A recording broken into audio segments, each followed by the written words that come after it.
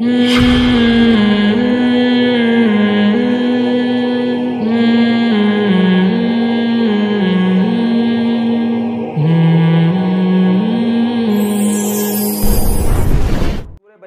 में अच्छाई की, के जो है ना, चार चीज़ें बयान की हैं कि जो अपने अंदर ये पैदा कर ले तो वो अल्लाह की नज़र में अच्छा है और जिसमें ये सलाहियत ना हो वो अल्लाह की नज़र में अच्छा नहीं है। पहली बात जल्दी से मैं बस ये तर्जमा करके बयान ख़त्म करता हूँ। वमन आरादल आखिरता सूर बनी इसराइल। हर काम में नीयत आखिरत की करनी है। दुनिया की नीयत नहीं करनी। दुनिया बेशक उसमें शामिल हो जाए। आप कोई भी अच्छा काम कर रहे हैं, इंसानियत की खिदमत है अच्छा काम है, नमाज़ पढ़ना अच्छा काम है। आप गरीबों को खाना खिला रहे हैं अच्छा काम है। आप एजुकेशन हासिल कर रहे हैं, इस नीयत से कि आपने कौम की खिदमत करनी है अच्छा काम है। आप डॉक्टर बन रहे हैं या बन रही हैं, इस नीयत से कि हम मरीज़ों का इलाज करेंगे। बुरा काम है अच्छा काम है। एक शख्स ने मुझसे पूछा कि इस्लाम में मेडिकल कॉलेज में पढ़ने की क्या फजीलत है? मैंने कहा, इस्लाम उसूलों की उसूलों की बात करता है। इस्लाम ने ये साथ साफ़ लफ्ज़ों में कह दिया, जिसने एक इंसान की जान बचाई, अल्लाह को इतना पसंद है, जैसे सारी इंसानियत को बचा लिया उसने। तो डॉक्टर अपनी ज़िंदगी में हज़ारों लोगों की जान बचाता है, चाहे वो मेल डॉक्टर हो या फीमेल डॉक्टर हो। तो जब वो जान बचाएगा या बचाएगी तो अल्लाह की नज़र में महबूब है वो। क्योंकि उसने हज़ारों की जान तो एक की जान बचाना इतना सवाब है। एक साहब ने मुझसे कहा ज़रई यूनिवर्सिटी में मैं पढ़ रहा हूँ तो इस्लाम क्या कहता है? इसमें कोई सवाब भी मिल रहा है? मुझे नहीं मिल रहा. तो मैंने कहा, मिल रहा है? क्या दलील है? मैंने कहा, बुखारी मुस्लिम की हदीस है, नबी ने फरमाया, जिसने एक दरख्त लगाया और मर गया, दरख्त से खुद फ़ायदा नहीं उठा सका बेचारा। तो ये भी घाटे का सौदा नहीं है। इसलिए कि इंसान तो दूर की बात, जब तक चरिंद परिंद भी उस दरख्त से खाएँगे, इसको कबर में सवाब, इसके नंबर बढ़ते चले। हालाँकि एग्जामिनेशन हॉल से निकलने के बाद किसी को नंबर नहीं मिलते। लेकिन आप एग्जामिनेशन हॉल में कोई खैर का काम करके चले जाएँ तो ये ऐसे नंबर बढ़ना शुरू होते हैं कि एग्जामिनेशन हॉल से निकलने के बाद भी नंबरों का सिलसिला जारी रहता है। तो मैंने कहा, एक दरख्त लगाने में जब इतना सवाब है तो ज़रिए यूनिवर्सिटी में पढ़कर कौम की पैदावार में इजाफा कर देना, जिससे लोगों में खुशहाली आए और जानवरों का नहीं, इंसानों की खिदमत हो रही है तो ये कितना बड़ा सवाब होगा? लेकिन शर्त क्या है? अरादल आखिरा। नीयत क्या हो? आखिरत। आप कह सकते हैं अच्छा फिर हम जो एजुकेशन हासिल कर रहे हैं, इसमें फिर तनख्वाह वनखा तो जॉब वॉब तो गई, ख़त्म। आखिरत की बस टोपी पहन के करें वही में सारे काम। तो भाई, दुनिया की नीयत कर लेना, ये आखिरत के मुनाफी नहीं है। आप दुनिया भी कमाएँ। नबी सल्लल्लाहु अलैहि वसल्लम सहाबा को जिहाद में तरगीब देते थे कि जिसने किसी दुश्मन को कत्ल किया, जितना उसकी जेब से जो कुछ निकला वो तुम्हारा है, ठीक है ना? तो ये दुनिया भी आ गई ना इसमें। तो आखिरत भी है और साथ साथ एक दुनिया की तमा भी है। तो आप डॉक्टर बने, आप इंजीनियर बने, आपकी नीयत ये हो कि हम पैसे भी कमाएँगे साथ साथ इंसानियत की खिदमत भी करेंगे। किसके लिए? अल्लाह की। क्योंकि पैसे हराम तरीके से भी तो कमाए जा सकते हैं ना।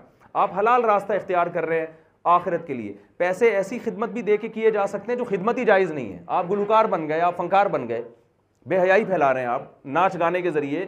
खिदमत तो इसको भी लोग समझते हैं, लेकिन इसमें आप आखिरत की नीयत कर ही नहीं सकते।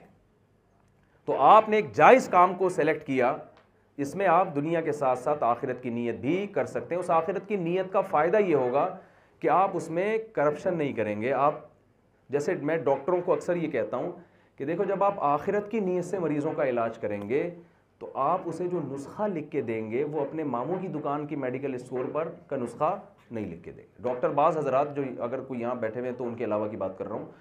वो ये कर रहे होते हैं कि वो जब दवा लिख के देते हैं आपको तो उनके मामू का करीब में मेडिकल स्टोर होता है। उसके अलावा पूरी कायनात में वो मेडिसिन कहीं भी नहीं मिल रही होती।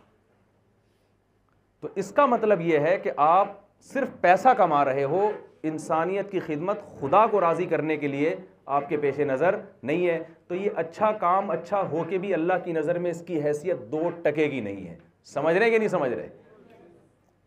तो पहला काम क्या करना है? मन अराद अल आखिरा। अच्छा अमल किसे कहते हैं? नीयत क्या करनी है? आखिरत। वसा दूसरा सिर्फ़ नीयत काफ़ी नहीं है। उसके लिए कोशिश भी करनी। इस्लाम आप आप जिस फ़ील्ड से हैं ना, अगर वो जायज़ फ़ील्ड है तो इस्लाम आपको छुड़वाता नहीं है, खूब समझ लें। क्योंकि नबी सल्लल्लाहु अलैहि वसल्लम ने इसको रहबानियत करार दिया कि सब कुछ छोड़ छाड़ के बस आप मस्जिद ही संभाल लें। इसको ये तो ईसाइयों का था, इस्लाम में नहीं है। नमाज़ के टाइम पे नमाज़ पढ़नी है, रोज़े के टाइम पे रोज़ा रखना है, हज में हज करना है और जो अपनी दिन भर की एक्टिविटीज़ हैं, उसमें आप जो भी काम कर रहे हैं, उसमें नीयत अल्लाह को राज़ी। ये मेरा काम अल्लाह के लिए। दूसरा, अल्लाह ने बताया वसा कोशिश भी करनी है। आपने नीयत कर ली कि भाई मैं डॉक्टर बन के एक हस्पताल खोलूँगा, जिसमें मैं गरीबों का फ्री इलाज करूँगा। उस नीयत के बाद आप कोई प्लान ही नहीं बना रहे आप इस काम के लिए। तो नीयत का दो चार नेकियों का सवाब तो मिल जाएगा, लेकिन ये अच्छा अमल नहीं कहलाएगा अल्लाह की नज़र में। बल्कि उसके लिए आपने क्या करनी है? सा कोशिश भी करनी है प्लान करना है। प्लानिंग करनी है आपने बैठ के। तीसरा काम, वसा लहा सा कोशिश भी वो जो आखिरत वाली कोशिश है, जिसको अल्लाह ने इजाज़त दी हो।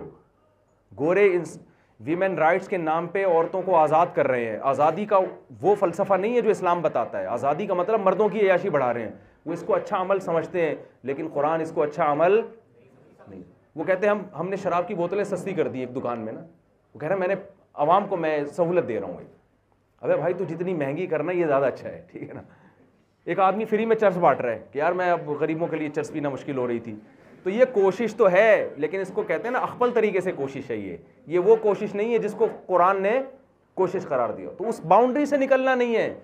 और चौथी शर्त कुरान बयान करता है, वह हुआ मोमिन चौथी शर्त ये, उसका अकीदा सही हो। तोहहीद परस्त हो रिसालत पर ईमान रखता हो।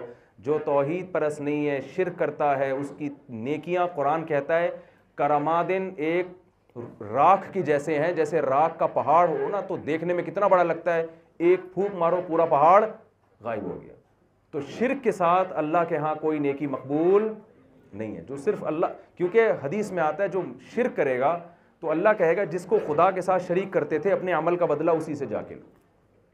तो देखें, गोरा अपना विजन खुद बनाता है, हमारा विजन अल्लाह ने बता दिया कि वो क्या है? आखिरत। इसको कहते हैं हम अल्टीमेट विजन उस अल्टीमेट विजन के तहत आप अपना विजन बनाएँ। नहीं आई बात समझ यानी आपने भी अपना विजन खुद बनाना है। अब ये नहीं कि हाथ पे हाथ रखे, अल्लाह ने तो हमारा विजन बना दिया, अब हम क्या करें भाई? तो कुछ तो करना पड़ेगा ना। आपने अपना विजन किसी ने डॉक्टर बन बनना है इंजीनियर बनना है पायलट बनना है आर्मी में जाना है ब्यूरोक्रेसी में जाना है सी एस एस करना है, जो मर्ज़ी करना है, आपने अपना विजन जो भी बनाना है, इस्लाम आपको इजाज़त देता है, लेकिन इस्लाम कहता है उस अल्टीमेट विजन को सामने रख के बनाओ वो खराब नहीं होना चाहिए। देखें, जैसे हम में से कोई शख्स लाहौर जा रहा है उसका विजन है लाहौर पहुँचना। तो लाहौर जाने के लिए भी तो कुछ करना पड़ेगा ना उसको। तो हर आदमी का अपना एक विज़न होता है, यार, मैं फ़लाँ तारीख को निकलूँगा। मेरा ये हदफ है कि मैं इतना सामान साथ लेके जाऊँगा। तो वो ऐसा कुछ नहीं कर लेता कि उसकी वजह से लाहौर के अलावा वो पिशावर पहुँच जाए। मंजिल पे मंजिल पे कभी कंप्रोमाइज़ नहीं किया जाता। सफ़र में तरीक़ा कौन सा इख्तियार किया जाएगा, उसमें कंप्रोमाइज़ हो जाता है। उसमें रद्दबदल भी होती है। रोज़ाना भी वो विज़न चेंज हो सकता है आपका। आज आपने इरादा किया, भाई मैंने इंसानियत की खिदमत करने के लिए डॉक्टर बनना है। कल आपका इरादा चेंज हो सकता है, लेकिन आखिरत वाला इरादा आपका कभी भी चेंज नहीं होना चाहिए। इसकी मिसाल ऐसे देते हैं कि देखो, जो शख्स जहाज़ की रफ्तार से जा रहा है, लेकिन उसका रुख मंजिल की तरफ़ नहीं है, वो कभी भी मंजिल पे नहीं पहुंचेगा। और एक शख्स कछुए की रफ्तार से चल रहा है, लेकिन रुख उसका सही सही है, वो बिल आखिर एक दिन मंजिल की तरफ़ पहुँच जाएगा। तो आप अपनी डायरेक्शन सही करें स्पीड का इतना मसला नहीं है। वो गिरते, पड़ते गुना हो गया, तोबा करें इस्तफार करें, फिर गलती हो गई, फिर तोबा करें, ट्रैक पे गिरते, पड़ते, किसी भी तरह चले तो बिल आखिर आपका अगर हदफ सही होगा तो आप मंजिल तक पहुँच जाएँगे। और अगर मेरे भाई हदफ इस गैर मुस्लिम के पास हदफ नहीं है तो हदफ स्पीड बहुत है, हदफ नहीं है तो जिसकी वजह से बिल आखिर वो मंजिल तक कभी भी नहीं पहुँच सकता।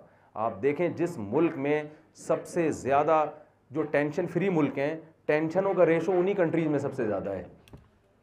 हमारे रिश्तेदार स्वीडन से होके आए, कहने लगे, यार, स्वीडन टेंशन फ्री मुल्क है। तलाश करने से टेंशन नहीं मिलती। हम लोग तो वहाँ जाके इसी में टेंशन में आ जाएँगे, टेंशन ही नहीं है। जितनी बिजली इस्तेमाल करें, उतना बिल आएगा। पैसे नहीं है तो गवर्नमेंट दे देगी। बेरोज़गार हैं तो हुकूमत आपको खर्चा दे देगी। आपको सुट्टा लगाना है, उसके लिए सुट्टे की जगह अलग बनी हुई है, ठीक है ना? हर काम का एक टाइम है, भाई, तमीज से करो, ऐसे रोडों पे नहीं करो। नाइट क्लब बने हुए हैं, वहाँ जाएँ, जो मर्ज़ी मस्तियाँ करनी है। और जो वैसी लाइफ सेहत आप अस्पताल में जाएँ फ्री में इलाज हो जाएगा आपका। ये अगर हमारे यहाँ हो जाए तो हम तुम टेंशन से मर जाएँ। ऐसा ही है कि नहीं? अगर हमारे यहाँ ये सब हो जाए तो अजीब सा नहीं होगा यार, आदमी रोड पे निकला है, गाड़ियाँ सब सीधी सीधी चल रही हैं। हम तो तस्वुर से टेंशन होने लगती है कि यार ये कैसे ज़िंदगी गुजरेगी। मैं ऑस्ट्रेलिया गया तो इतनी सफ़ाई, इतनी सुथराई, इतना सड़कों पे कोई एक पीक का निशान नहीं किसी बाँध का ना। इतनी सफ़ाई में तो एक हफ़्ते तक तो मैं मदहोश ही रहा हूँ, यार ये क्या है? ना कोई चीख के बात करता है। कोई चीखना चिल्लाना नहीं। हम जब यहाँ आते हैं, उनकी पुलिस देखो, इतनी खूबसूरत दिल चाहता है, यार हमें भी अपने साथ ले जाओ गिरफ़्तार। यानी बिला वजह गिरफ्तारी देने का दिल कर रहा होता है, यार तू पकड़ के ले जा हमें अपने साथ। हमारी पुलिस देखो, माशाल्लाह बहुत अच्छी है, लेकिन ये कि माशाल्लाह सलूक कितना अच्छा होता है। तो पुलिस वाले भी बयान सुनते हैं, भाई, हमारी पुलिस जितनी तनख्वाहें इनको है ना, इसमें इतने भी बहुत अच्छे हैं ये, जो इनको तनख्वाहें मिल रही हैं ना। तो इसके बावजूद खुदकुशी का रेशो, मैंने वहाँ एक ऑस्ट्रेलिया में एक डॉक्टर से पूछा, मैंने कहा देखें हमारे यहाँ नज़ला ज़ुकाम खांसी के पेशेंट सबसे ज़्यादा होते हैं। यही वजह है कि जो कंपाउंडर है ना डॉक्टर के साथ, वो खुद चैंपियन बन चुका होता है थोड़े दिनों में। इतने खांसियों के इलाज उसने किए होते हैं, वो डॉक्टर को लिफ्ट नहीं कराता होगा भाई यहाँ से मेडिकल से लेके खा ले खाम खमे टाइम से नहीं करता इतना मास्टर हो चुका होता है वो। तो मैंने ऑस्ट्रेलिया में डॉक्टर से पूछा, मैंने कहा, भाई, आपके यहाँ सबसे ज़्यादा पेशेंट किसके होते हैं? उन्होंने कहा, हमारे डिप्रेशन के होते हैं। मैंने कहा, यार, यहाँ तो इतनी साफ़ हवा, पुलिस वाले भी ऐसी तमीज़ से मुस्कुरा के बात कर रहे हैं। और इतने खूबसूरत खूबसूरत पुलिस वाले, इतने वर्दियाँ उनकी कितनी अच्छी, उनकी फिटनेस ऐसा ज़बरदस्त तो यार यहाँ किस बात की टेंशन है? घर इतने अच्छे। हमारे यहाँ गुलिस्तान जौहर में आप देखें, अपार्टमेंट देखें दस दस बच्चे एक लिहाफ में घुसड़े हुए हैं। और मुझे लोग कहते हैं, आप कहते हो नस्ल ज़्यादा होनी चाहिए तो ये हाल होता है। मैं कहता हूँ, नस्ल ज़्यादा का मतलब ये थोड़ी है कि फ्लैट में घुसेड़ दो सबको।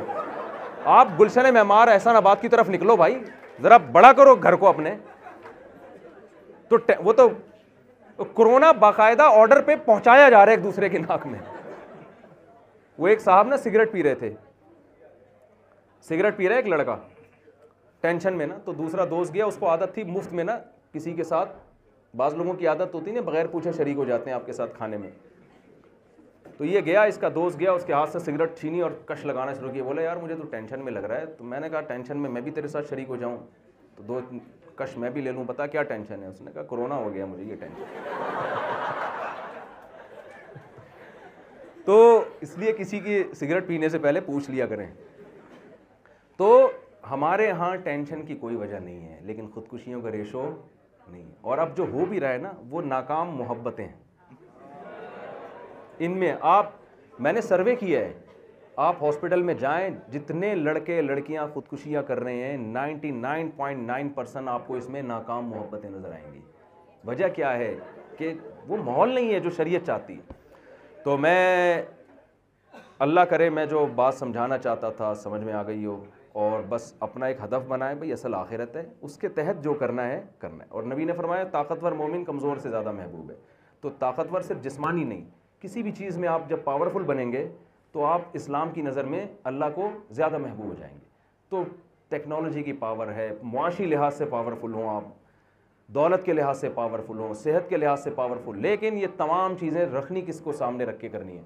आखिर अल्लाह ताला हमें समझने की अमल की तोफ़ी